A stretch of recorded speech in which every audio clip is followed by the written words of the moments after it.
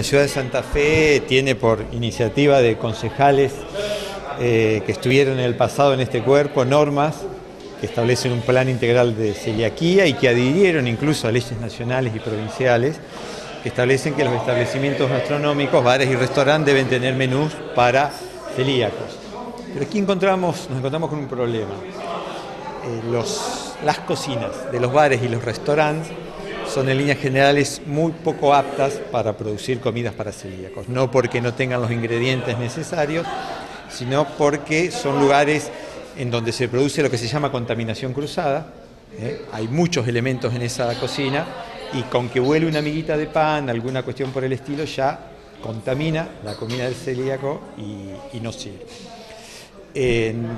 Entonces, veíamos esta preocupación de los establecimientos gastronómicos que no solo tienen la, necesidad legal de cumplir con esta norma, sino también de satisfacer un, derecho de, clientes que no pueden a otro tipo de comida.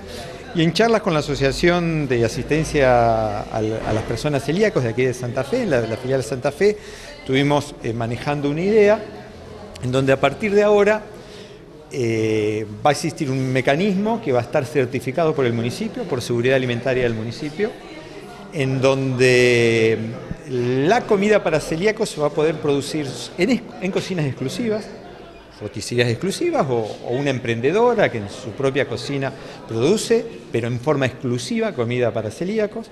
El municipio puede controlar esto.